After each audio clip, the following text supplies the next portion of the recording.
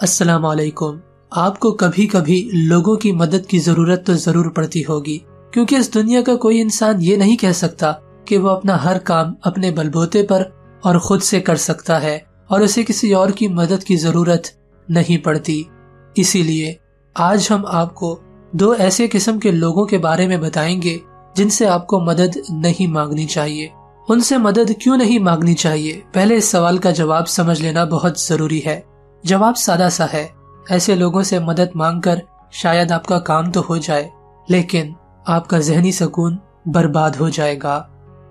लेकिन सबसे पहले चैनल को सब्सक्राइब कीजिए और साथ में मौजूद घंटे को दबा दीजिए और इस वीडियो पर मैं चाहता हूँ आपके पाँच हज़ार लाइक्स हों। पहली किस्म के वो लोग हैं जो आपकी मदद नहीं कर सकते। आप उनसे मदद ना मांगिए।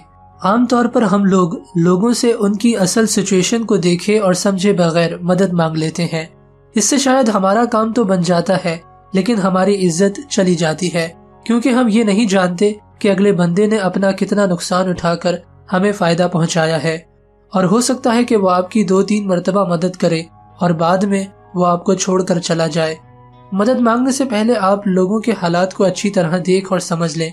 और सिर्फ़ उनसे ही नहीं, बल्कि उनके जानने वाले लोगों से भी इस बात की तसल्ली कर लें कि वो आपकी मदद करने के काबिल हैं या नहीं।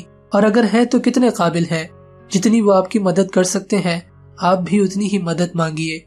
क्योंकि बाज लोग आपकी मदद तो कर सकते हैं, लेकिन मुकम्मल नहीं।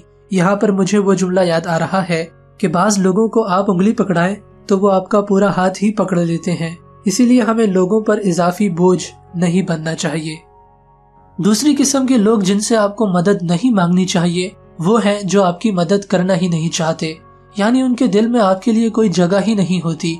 हो सकता है जिससे आप मदद मांग रहे हो, उससे आपका कोई ताल्लुक हो, लेकिन वो ताल्लुक या तो मतलबी, यानी काम के सिलसिले में होगा, या फिर मजबूरी यानी हालात वाकयात की वजह से बन गया होगा, जिसे आप किस्मत का ताल्लुक भी कह सकते हैं। ऐसे ताल्लुक वाले इंसान से मदद मांगना आपके लिए कभी फ़ायदा मत नहीं हो सकता, क्योंकि ये बिल्कुल हो सकता है कि अगला बंदा आपकी मदद कर दे, लेकिन दिल में आपको बहुत कोसे। तो ऐसे शख्स से मदद मांगकर अपनी वैल्यू को नहीं गिराना चाहिए।